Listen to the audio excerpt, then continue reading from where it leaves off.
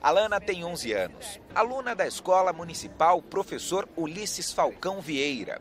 Participou da criação da obra e falou sobre felicidade. É quando a gente tem vontade de rir, falar alto, dançar, abraçar as pessoas, tudo ao mesmo tempo. Esta é a proposta do Dicionário Ilustrado de Sentimentos, resultado de uma convivência com crianças durante oficinas realizadas em hospitais, escolas, bibliotecas e instituições não governamentais.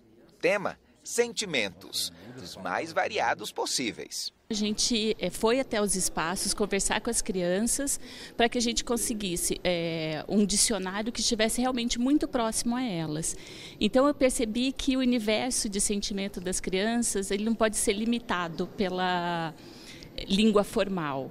A obra recebeu o apoio da Lei de Incentivo à Cultura do governo federal. O lançamento aconteceu neste fim de semana na Biblioteca Pública do Paraná. A Nina tem 10 anos, né, Nina? 10 anos, está no sexto ano do ensino fundamental, mas apesar de tão nova, ela já eterniza através da escrita o que pensa e o que sente através de poesias, né, Nina? Você tem um hábito da, da leitura já, né?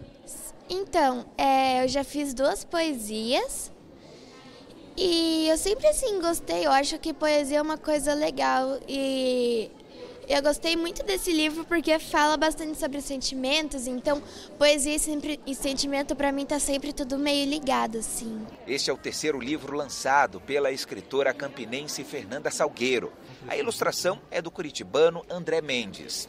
O dicionário pode ser adquirido gratuitamente pela internet.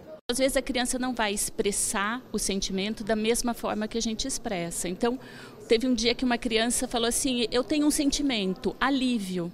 Alívio é sentimento? É, e é um sentimento maravilhoso, né? E eu acho que esse livro vai poder contribuir para que a criança perceba o que ela está sentindo, para que amplie o repertório dela sobre sentimentos e para que ela realmente é, sinta vontade de ler algo que ela se identifique. Então é é esse nosso desejo.